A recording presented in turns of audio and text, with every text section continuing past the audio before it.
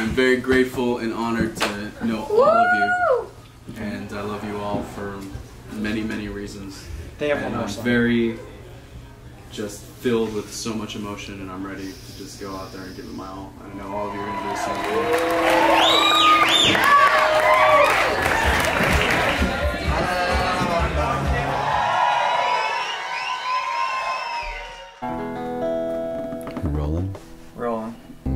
Take it from the top? Yes, please. Okay. Um, fuck. I'm Josh Arbour, singer, songwriter, guitarist for Creating Monsters, and this is why I write.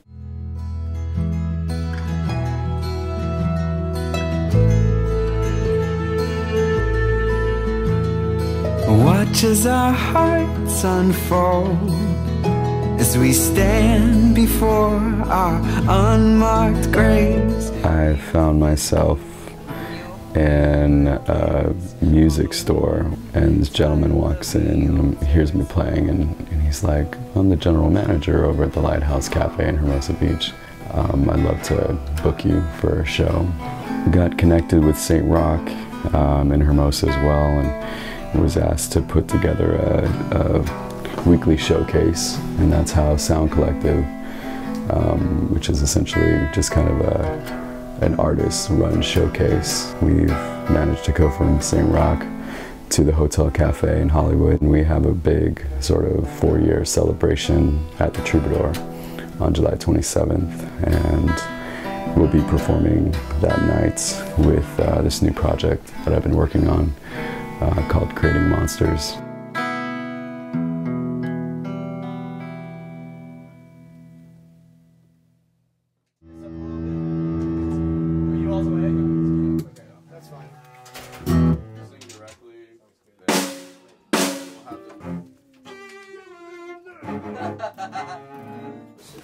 I, I just put it into the chill. I rerouted it. All right, guys, this is gonna be fun. So this should Hi, be- how? Max. Max You want Adeline. this? To meet you, Adeline. Ooh, it's been a while since I've heard that. Uh, so you're, yeah, so Oh, you're I put the cable there.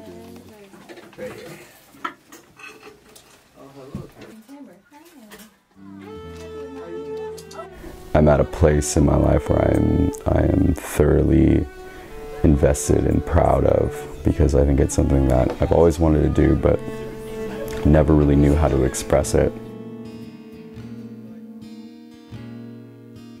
I remember being buried deep between button sweet caress.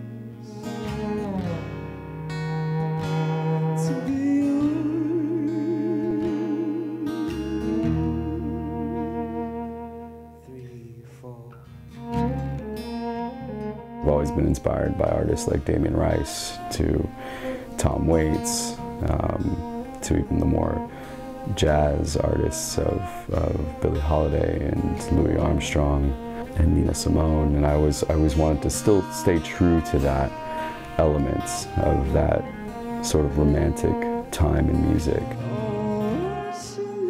Fans or friends of ours who've heard of the music in the past will be ever so surprised.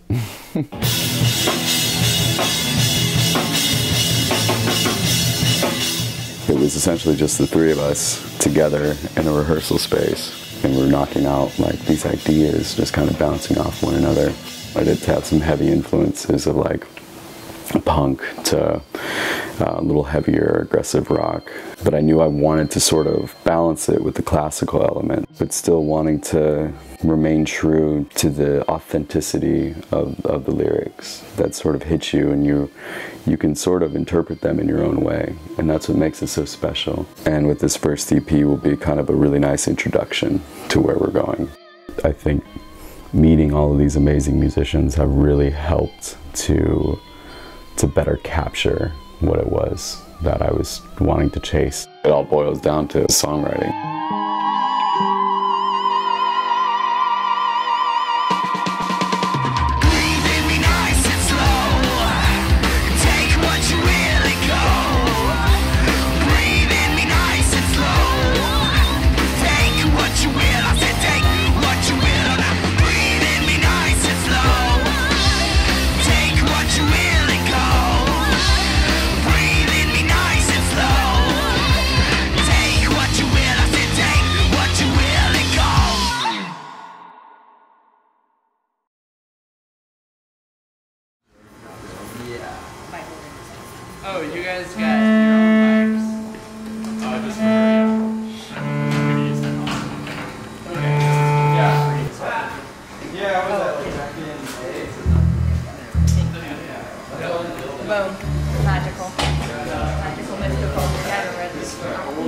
Check one, two, check, check, check. We'll just run her separate, I guess, and then run me through that.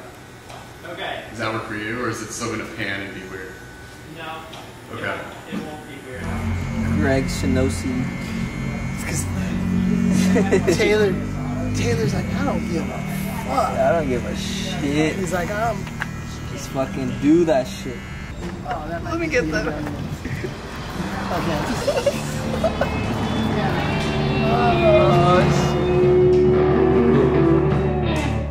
What I'll need is just a little more vocal, and then both these guys, if I could get guitars in my wedge, that'd be great.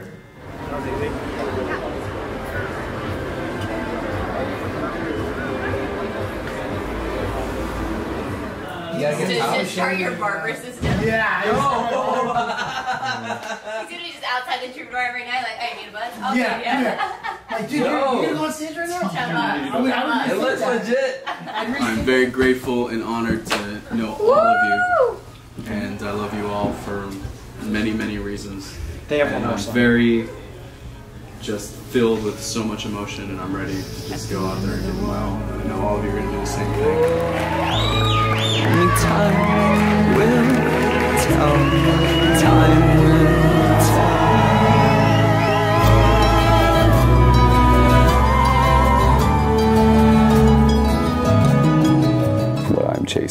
Is legacy of songwriting and more so just, just being genuine, being honest about what you're writing. I think it's about chasing chasing something that's gonna live long after you're dead.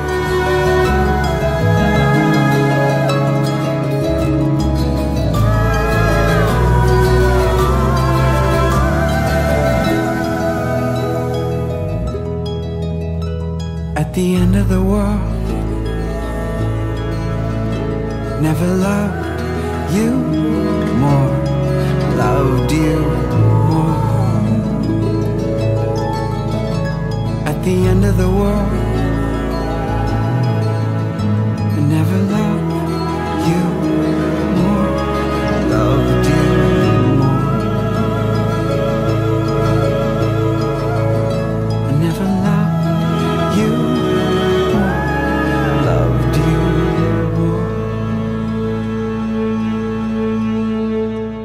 never loved you more, loved you.